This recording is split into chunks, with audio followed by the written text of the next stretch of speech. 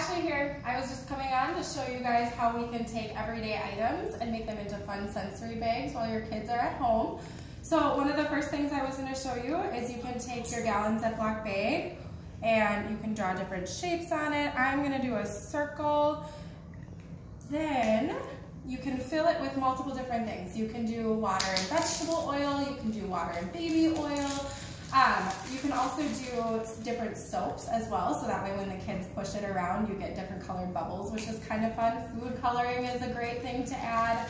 So we're gonna do some body wash, another great thing that's kind of around the house. I'm just gonna do a little for you guys to see today. And then we're gonna add some really fun different things. So you can do pom-poms, you can take Q-tips, and the kids can push the Q-tips up and down and make a stick figure in their um, sensory bags. So we're gonna do the pom-poms, and then we're gonna add some glitter. And then just a couple stars here, maybe.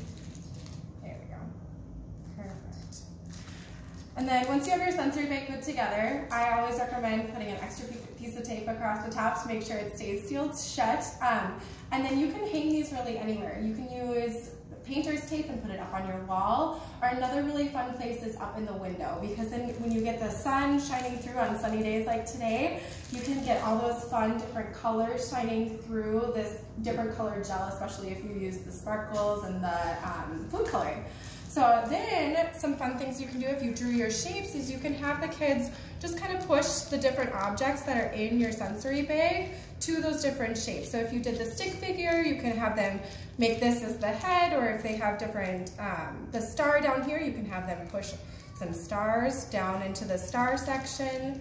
And yeah, so there's some fun little ideas for you. Really, you can make these out of anything, and they're really a fun thing to keep your kids occupied.